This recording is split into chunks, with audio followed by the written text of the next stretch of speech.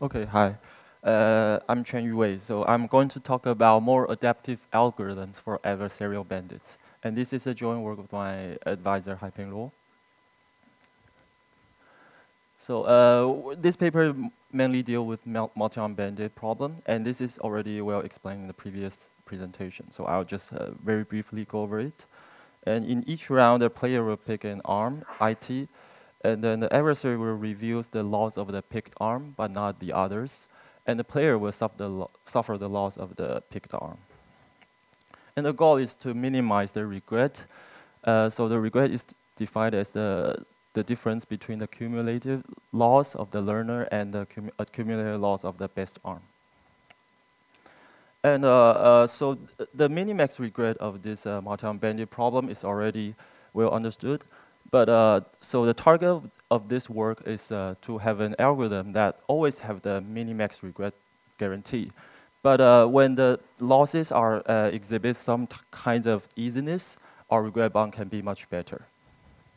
And somehow this kind of uh, adaptive bounds is uh, more studied in the full information setting. it is less understood in the multi-arm in the bandit setting. So our first result is called the best of both worlds. So the easiness is captured by the IID assumption. So we have an algorithm, a single algorithm, that uh, uh, when losses are IID generated, it has some regret bound that is logarithmic in t. And more precisely, it's order of k log t over delta, where delta is, uh, sorry, where delta is the gap between the means of the best arm and the second best arm. And when the losses are adversarial, we have a regret bound that is roughly square root k L star, where L star is the accumulative loss of the best arm.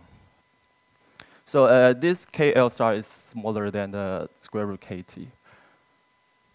Uh, so we, we are not the first to investigate this problem. And there were already several works about this to have a best of both worlds bound. But we have several uh, benefits over, over the previous works. So as I mentioned, we have a, in the adversarial setting where our bound is uh, uh, better than the minimax bound square root kt. And in a stochastic setting, the logarithmic bound actually doesn't need to, uh, uh, to it holds under a weaker assumption than IID assumption. So we only need that there's an arm I star whose conditional uh, conditional expectation, uh, the loss is smaller than all the others by a gap. So the loss can be neither independent nor identical. And uh, perhaps the most important contribution of this work in this direction is that we have a much simpler algorithm and analysis for this problem. There's no extra statistical tests uh, as appeared in some of the previous works. Uh, okay, so uh, the second kind of results in this paper is to have a, a adaptive bounds. So these bounds are, uh, these bounds uh, is much smaller than square root kt when the losses uh, is slowly changing in some sense. So how to capture this kind of slowly changing? So First way is to calculate uh, the loss empirical variance. So we define Qt like this. So Q, Qi, uh, Qi is the empirical, empirical variance of arm i. And there are several previous works that have a regret that depends on this quantity. And uh, in, like in full information, they have bounds that either depends on the maximum empirical variance over all arms or the empirical variance of the best arm. And in Bandit's uh, recent work by Bubeck et al. have a regret that depends on the sum of the empirical variance. And this work uh, completes this table. So we have a regret bound that only depends on the empirical variance of the best arm.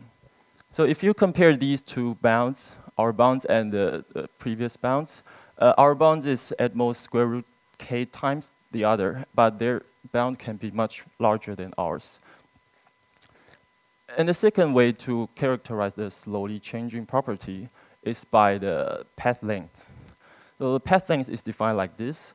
So it's a sum of squares of the difference of, uh, of the losses. Uh, uh, again, there are, uh, it's well understood in the full information setting. So the, the, the, uh, the regret can either depend on the maximum path length over all arms or the, uh, the path length of the best arm. But there's, there were no known results about path length bound for bandits.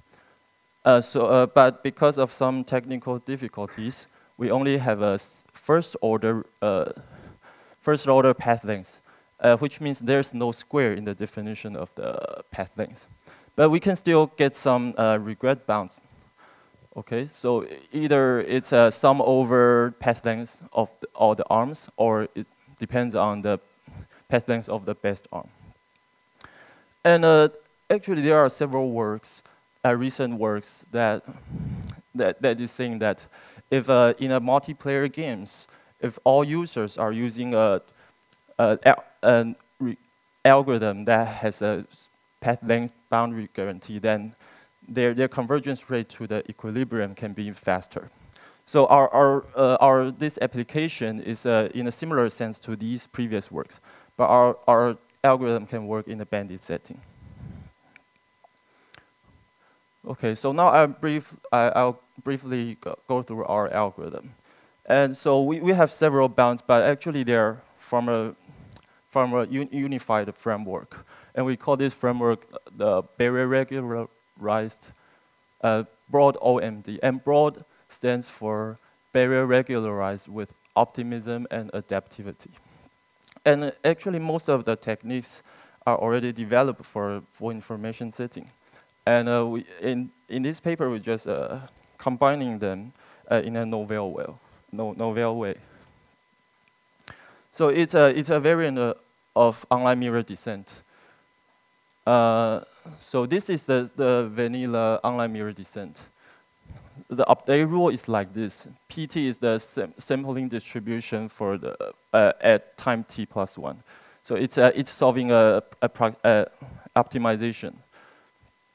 Then what is uh, optimistic online mirror descent? So the, the, the first line remains the same, but when the learners are pick the, is picking the arms, it, it make a further updates based on this the MT plus one. And MT plus one is an optimistic prediction for LT plus one. And we have a, another element, which is this AT.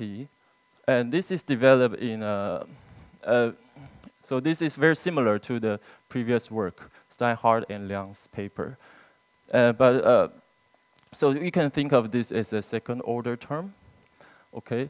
And then, uh, and our algorithm is very similar to theirs, but uh, we, uh, we, their, their algorithm is presented in a follow the regularized leader framework with a fixed regularizer.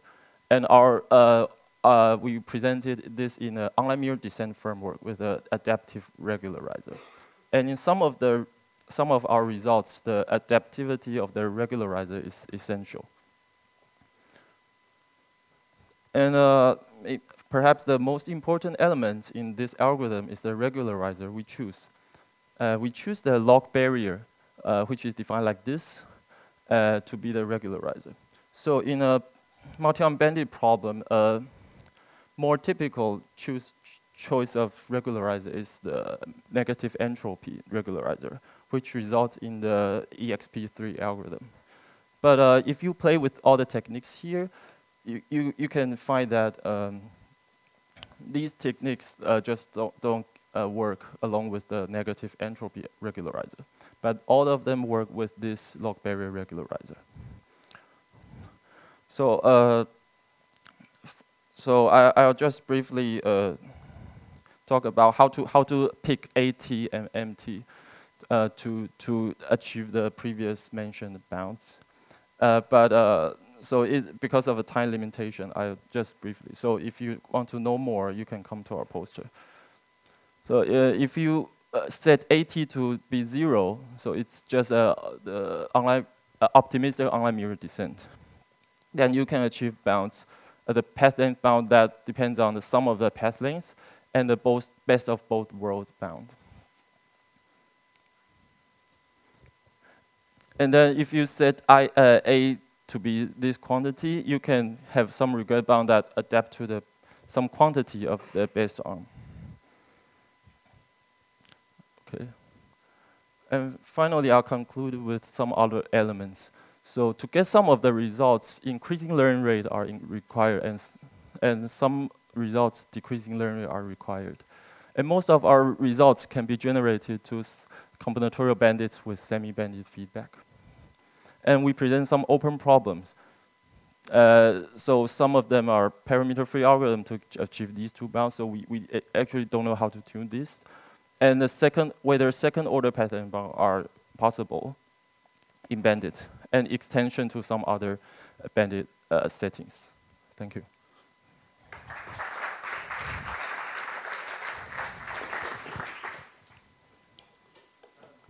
Question? Uh, lower bounds. So um, we, we, we didn't we didn't provide lower bounds, but yeah. So uh, I think this, uh, my guess is that this is tight. So, but it's still it's. I think that maybe it depends on whether you know this quantity or not. Yeah, it's not known that. Uh, so we, we can achieve this bound only if we tune the learning rate very, yeah. So, yeah. Okay. Let's thank the speaker again.